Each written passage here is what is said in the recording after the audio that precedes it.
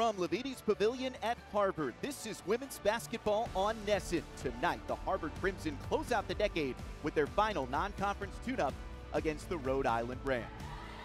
Topside goes Jones, junior guard from Highbridge, New Jersey, and it's turned over again. Third giveaway in the first quarter by URI. Barta thought about it, flipped it inside to Bain. I'm one of the best bigs in the Ivy League. Down low they go to Bain. Been the hard worker inside. Trying to turn on Jorgensen. rebounds per game.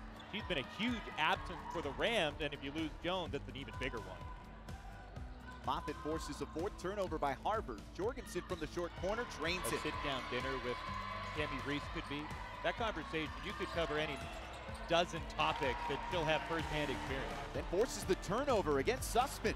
Tries to go up strong. That's denied. Very clean quarter of basketball so far. Just one foul called on either end. Quincy, Massachusetts native. Ober from deep. That's three.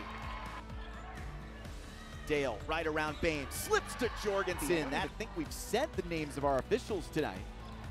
Long rebound. Dale. Oh, gets thrown aside. McCarthy, two on one, finishes at the rim. This year against North Dakota. Ah, thank you to our stats and info department. Right back at her. Back and forth they go. It's a three-point shooting contest. Ball there by Rogers.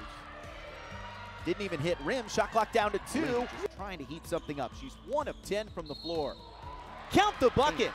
Jorgensen was called for her third. Still one more foul to give.